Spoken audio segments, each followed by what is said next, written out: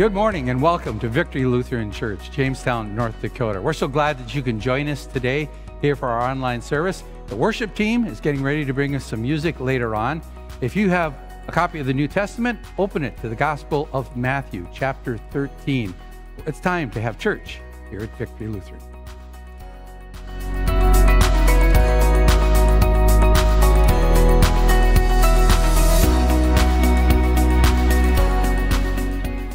This morning's message is taken from Matthew chapter 13. It's called The God of Small Beginnings. You know, as in recent weeks, as we've seen, God separates believers from the unbelieving world and even from those who pass themselves off as true believers. God does not remove Jesus' followers from the world, He actually helps us to grow in our faith while being a part of this world.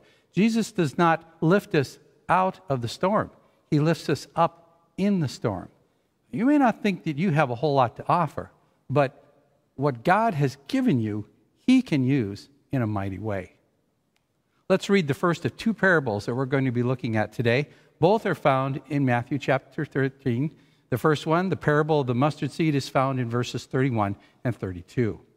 Reading in Jesus' name, he put another parable before them, saying, The kingdom of heaven is like a grain of mustard seed that a man took and sowed in his field. It's the smallest of all seeds, but when it was grown to a larger than all of the garden plants and becomes a tree, so that the birds of the air come and make nests in its branches. The mustard plant spoken of here is actually a tree big enough that you can climb into it. But it does start out as an incredibly tiny, tiny seed. In reading on this, I found out that you can line up 18 to 25 mustard seeds across the face of a dime. Well, from a very small beginning, Jesus and his 12 disciples, the kingdom of God has grown and is growing. It's become a place where many can take refuge, where many can find rest and comfort, and the world has benefited from it as well. Um, you only have to think about orphanages, medical clinics, hospitals, schools for elementary children, grade school children, um, high schools, colleges, universities, programs that feed those who cannot feed themselves. Dr. David Bast has written that we're not very much interested in smallness or in things that seem insignificant, insignificant movements. Just like the world, the American church loves a winner, and we define winners by big numbers and lots of dollars. We live in a celebrity obsessed culture, and a lot of that has rubbed off on Christians. God is the God of tiny beginnings and seeming weakness. He delights in using little people and what look like insignificant movements, but the small beginnings end in the great big results. God's strength is made perfect in weakness. It is when we are weak that we become strong. That is the message throughout the entire New Testament. The quiet, slow, beneath the surface operation of God's Word and Spirit working through ordinary people produces change, like water that eventually wears away a stone. When Jesus spoke these two parables, his church wasn't even a blip on the map of, of the world, uh, as far as the radar of the world was concerned. And yet today's followers are across the world and spreading his word, and the church continues to grow across the globe. Now, that doesn't necessarily mean that every preacher is going to draw big crowds and that every church is going to boast huge numbers. The Lord still works in small, hidden ways. As commentator Dale Bruner explains, Jesus' point is not that the whole world will be converted, but that the whole world will be reached. The bigness promised by these seed parables is not to be understood as worldly bigness, but in the spirit of the gospel as the true bigness of the fruit of life in the whole earth. Jesus is encouraging us to have confidence in the gospel, to have confidence in the God of tiny beginnings and in unsung efforts, confidence that our own small works for the Lord will never be in vain. The scriptures put it as a single cup of water given in Jesus' name. To proceed from a small beginning into a vast world involves a great deal of trusting world is always telling us to think big, but Jesus is encouraging us to think small. Have you ever reflected on the way the gospel really works in the world? Think about how the church is built. It actually starts with a weak preacher and weak, small message. Look at the testimony of the Apostle Paul in Corinthians. 1 Corinthians chapter 2, verses 1 through 4. He wrote to the Corinthians and said, I, when I came to you, brothers and sisters, did not come proclaiming to you the testimony of God with lofty speech or wisdom, for I decided to know nothing among you except Jesus Christ and Him crucified. I was with you in weakness and in fear and much trembling, and my speech and my message were not in plausible words of wisdom, but in demonstration of the Spirit and of power. God does not save people by worldly power or wisdom. Neither Republicans, Democrats, liberals, conservatives, socialists, communists, environmentalists, capitalists, none of them are going to save the world. It pleased God through the folly of what we preach to save those who believe, says the apostle in 1 Corinthians 1 2. 121, excuse me, be 1 Corinthians chapter 1, verse 21. In his commentary on the parable of the mustard seed, the great fourth century theologian and Bible translator St. Jerome points out just how small a thing the preaching of the gospel really is. This is what Jerome wrote The preaching of the gospel is the least of all the teachings. At first glance, there seems to be no real truth in this teaching that proclaims a dead Christ and the scandal of the cross. Compare it with the systems of the philosophers, with their books, with the splendor of their eloquence, with their fine style, and you'll see just how much smaller the seed of the sower of the gospel is. But this preaching, which seems so small in the beginning, when it has been sown either in the believing soul or in the whole world, grows up into a tree. Christianity does not expand as a result of clever publicity campaigns. God's kingdom does not advance by means of massive government spending, political parties, let alone military might. It is not human power that causes the Christian faith to keep growing and spreading. It happens when the seed of the gospel is sown. God has a plan of salvation, a plan of changing people, for dealing with our sin, for transforming the world. He sent Jesus to die and rise again and he had eyewitnesses tell Jesus' story to other people. And those that heard it and believed it were changed, and they told it to other people. And this went on and on and on. The greatest power in the world is a 2,000 year old piece of good news. The Bible says in Zechariah 4, verse 6, It is not by might nor by power, but by my Spirit, says the Lord of hosts.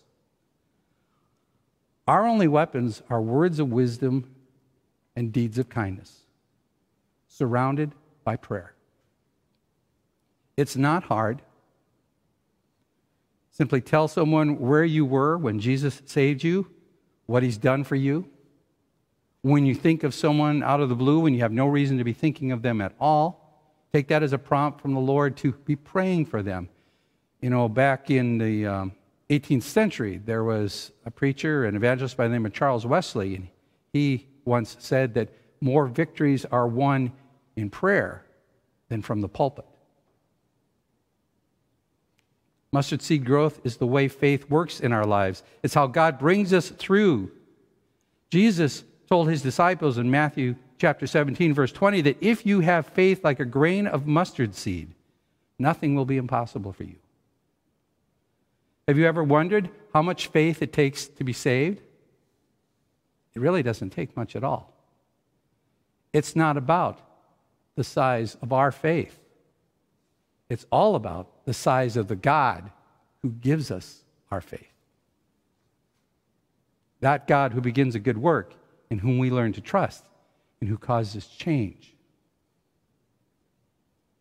Let's look at the next parable, the parable of the leaven in verse 33. He told them another parable. The kingdom of heaven is like leaven that a woman took and hid in three measures of flour till it was all leavened. Leaven, we know it as yeast, works quietly and invisibly, and only the effects of it are seen.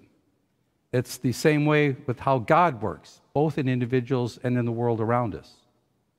The kingdom of God may have small beginnings, but it will increase. Yeast is microscopic in size and only a little is kneaded into the dough, yet given time, the yeast spreads throughout the dough. And in that same way, Jesus' domain started with 12 men in an obscure corner of Galilee and has continued and continues to spread across the world. The kingdom of God exerts its influence from within, not from without. Yeast makes dough rise from within. God first changes the heart of a person, and that internal change has external manifestations. The gospel influence in a culture works in the same way. Christians within a culture act as agents of change, transforming the culture from within. When the church separates itself from interacting with culture, there are dire consequences. In the 1930s, church dominations as a whole decided that popular entertainment, Hollywood, popular media were becoming too vulgar for Christians to be a part of those industries. And Christians were pressured to keep out. And as a result, the moral underpinnings of popular entertainment, books, music, theater, television, movies plummeted into the abyss. What a difference engaged and active Christians could have made from within. The effect of the kingdom of God is comprehensive, just like the yeast. Yeast works until the dough has completely risen. The benefit of the kingdom of God will be worldwide, as the prophet Habakkuk put it, chapter 2, verse 14. For the earth will be filled with the knowledge of the glory of the Lord as the waters cover the sea. And although the kingdom of God works invisibly, its effect is evident to all. Yeast does its job slowly, secretly, silently, but no one can deny its effect on the bread. And the same is true of the work of grace in our hearts. The nature of the yeast is to grow and to change whatever it comes in contact with. Christ's grace grows in our hearts and changes us from the inside out. And as the gospel transforms our lives, it exerts an influence on the lives and the environments around us. Here's what the Bible tells us in 2 Corinthians chapter 3 verse 18. And we all with unveiled face beholding the glory of the Lord are being transformed into the same image from one degree of glory to another. For this comes from the Lord who is the Spirit.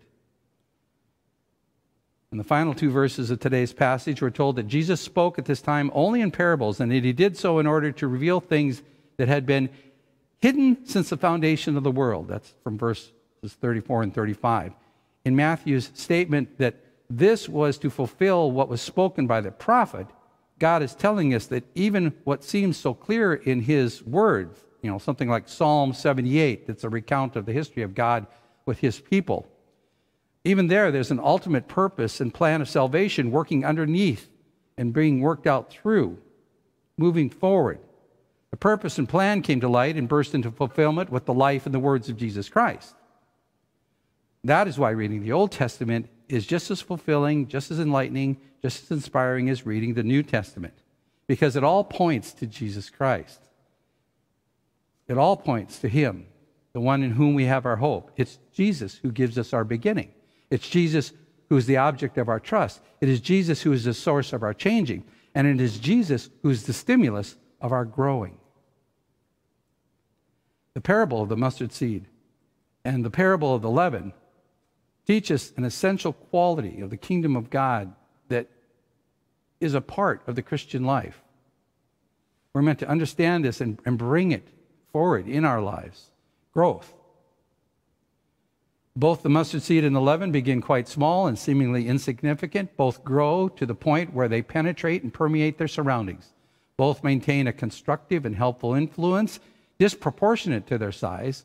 Both provide for the needs of others from seemingly meager beginnings to become fully developed, fully mature, so that God can use them to benefit whatever environment they're in. If we do not bear the kind of fruit that makes people more aware of Jesus Christ, then a mustard seed growing into a mustard tree is not the kind of plant that we are. If our attitude toward people and circumstances do not have the sweetness and the holiness of the Savior, then our hearts have not been leavened with the leaven of God. Jesus said in the Sermon on the Mount, You will know them by their fruits. We can talk all we want to about what we do and why we do it, but the world can see what is distinctly from Jesus. Pastor Warren Lamb has noted that Christ's life within us is evident to others if there is in what we do, how we carry ourselves, how we react, how we treat our enemies, how we deal with adversity, and the kinds of things that we allow and do not allow to be in our lives. By the grace of God, through the power of the Holy Spirit, we get to get on our knees and ask God to show us how we're doing and to show us how to change what needs to be changed. When the people say that they see Christ in our treatment of others, that they hear Christ in what we say, that they sense Christ's gentleness as we interact with other people, that is when we know that the seed that has taken root in us is a seed of God. Then we will know that the leaven that is affecting our heart is the leaven of God. That it has been kneaded into our hearts and it is permeating all that we do. I don't know where you are today. I'm guessing you're like me. You want your life to be more flavored by the Savior. You desire healthier fruit in your life, fruit that demonstrates being firmly rooted in a personal, moment by moment relationship with Jesus Christ. So let us call upon God to help us submit ourselves to the instruction of the Holy Spirit, the cleansing power of His Word, the loving yoke of the Redeemer, and let's lift each other up to the throne of grace. Let us call upon the grace of God to help us to open ourselves up to being transformed by the renewing of our minds so that the li- our lives will become gifts of living worship to the God of small beginnings. Amen. It's the time in our service when we take our offering, but first of all, we want you to know that here at Victory, we're concerned about whether you're safe, whether you're able to provide for your home and your household. We know that in the middle of the pandemic, some people are without jobs, some people have reduced hours, and it can be tough to put things on the shelf, pay bills. We want to know about that. And if you need help, we want you to contact us. Let us know if there's some way we can help, and we will try our best, Lord willing, to help you if we can. And that contact information is available at the same place where you can find out how you can get an offering. If you do have an income and you do want to support our work, then you can go to findvictory.org. You'll find the yellow donation button up there, and you can click on that and find out information about how to help us with this ministry. You can also send a check to 510 9th Avenue Southwest, Jamestown, North Dakota, 58401. We appreciate your help with all of that, and we look forward to hearing from you.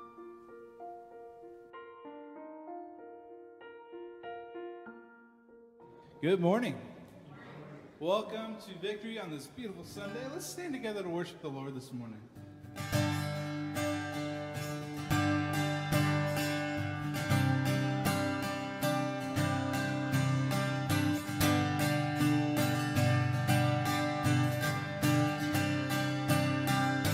Go.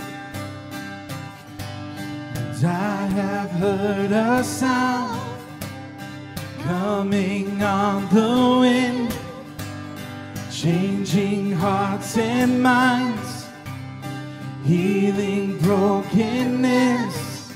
I feel a generation breaking through despair. I hear a generation full of faith declare, and our song it will be.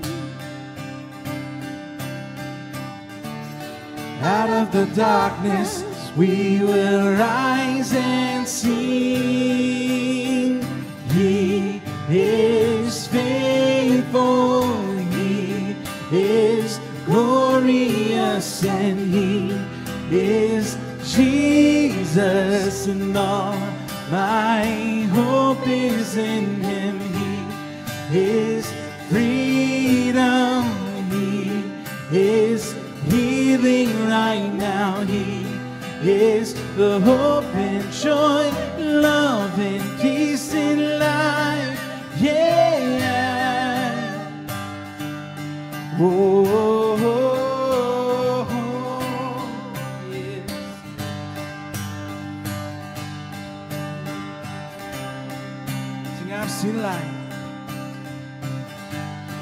I have seen a light like the break of dawn, giving blind men sight, letting lame men walk. I see a generation with resurrection life. We are a generation filled with the power of Christ, and our song it will be. Out of the darkness we will rise and sing. He is faithful, He is glorious, and He is Jesus, and all my hope is in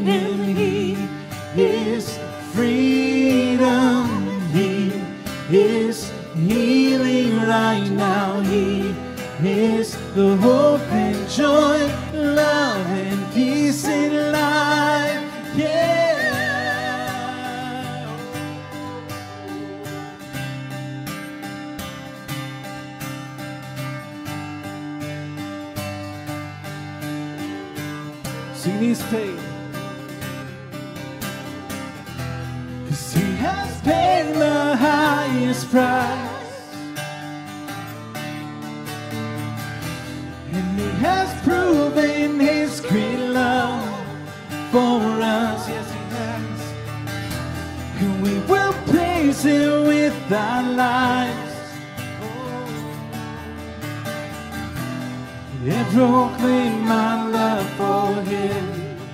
Mm-hmm. Cause he has paid the highest price. And he has proven his great love for us. And we will praise him with our lives. And proclaim our love for him. Mm-hmm. And proclaim my love for him. Amen, amen. Well, good morning. If I haven't had a chance to meet you yet, my name is Conan. I am one of the worship leaders here. And man, what a what a day just praise and worship the name of the Lord. Our God is faithful, is he not? I feel like over the last few weeks, especially during the season, I've just seen time and time again how God has shown himself to be faithful. From people being healed of afflictions, to hearing stories of how God has just reached somebody that was lost. Let's continue now in worship.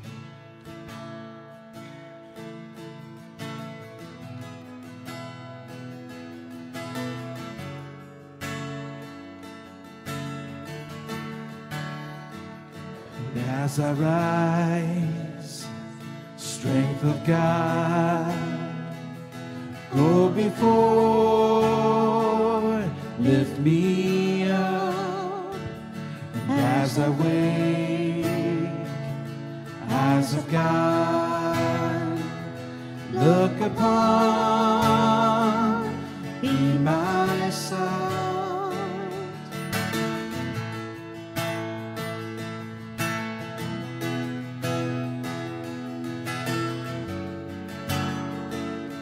Sing as I wait, heart of God.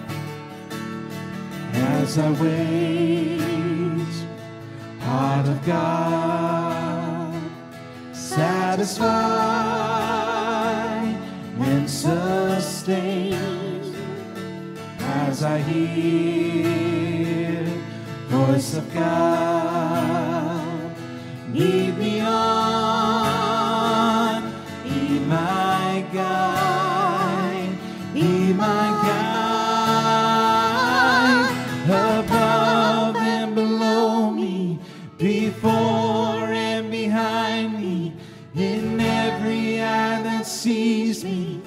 Christ be all around me, above and below me, before and behind me, in every eye that sees me. Christ be all around me.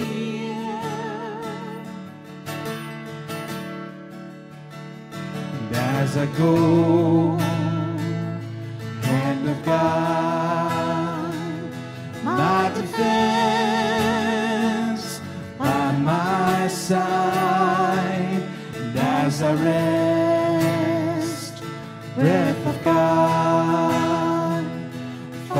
upon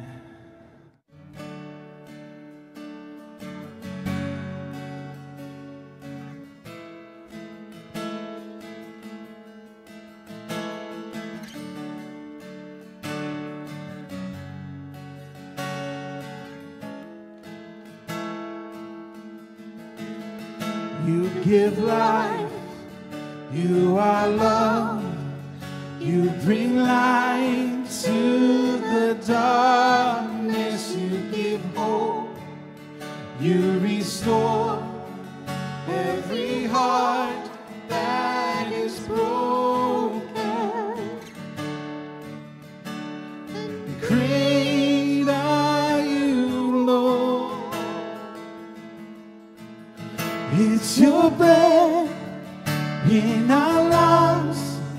So we pour out our praise, we pour out our praise, it's your breath in our lungs.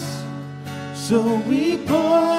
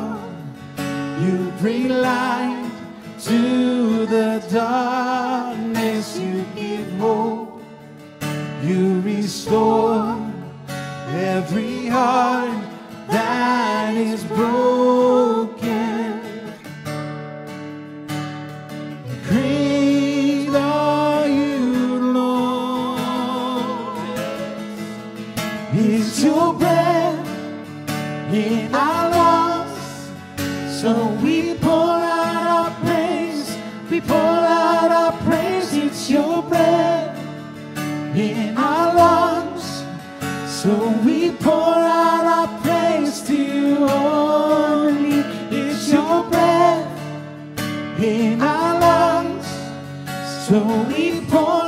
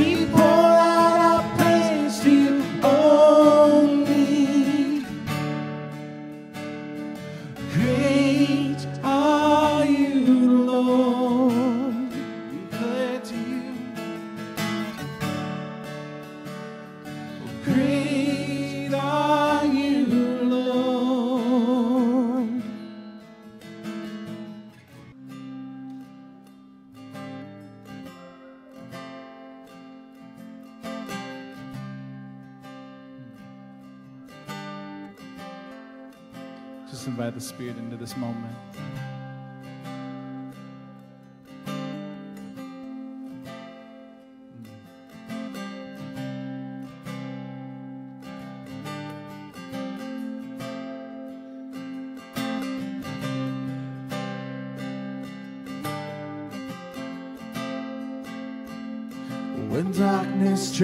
To roll over my bones, when sorrow comes to steal the joy I own, when brokenness and pain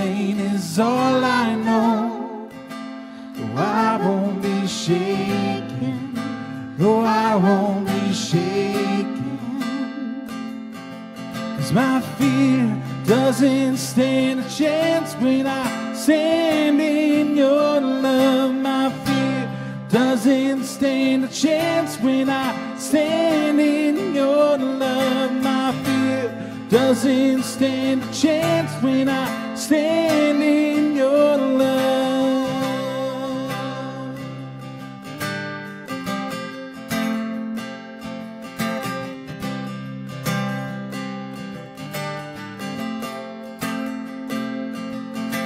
shame no longer has a place to hide. And I am not a captive to the lies.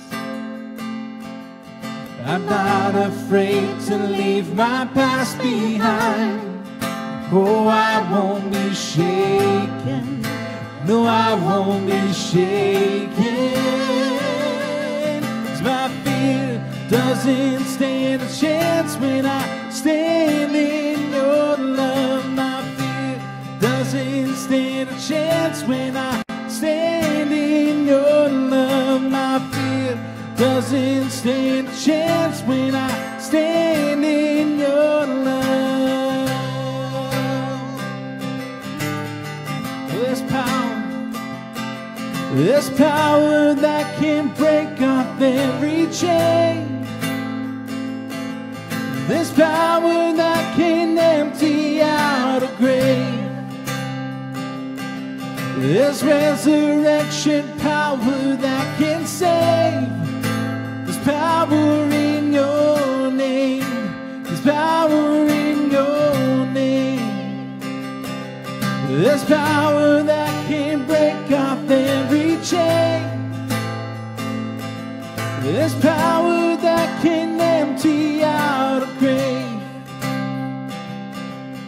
There's resurrection power that can save. There's power in your name. There's power in your name. 'Cause my fear doesn't stand a chance when I stand in your love. My fear doesn't stand a chance when I stand in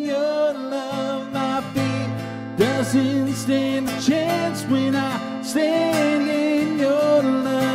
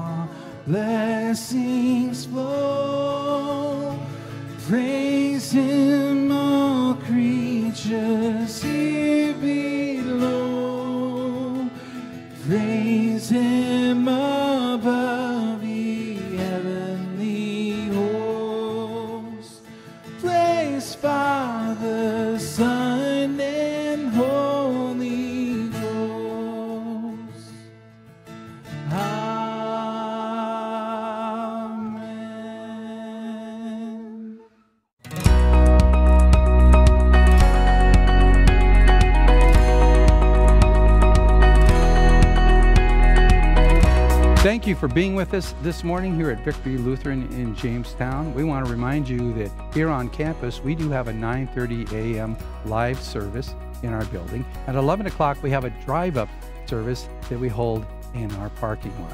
We certainly welcome you to come and be a part of that fellowship.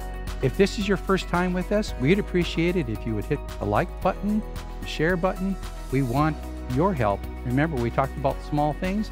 Those little things could spread the word of God to someone who's never heard. Thank you so much for being with us. God bless.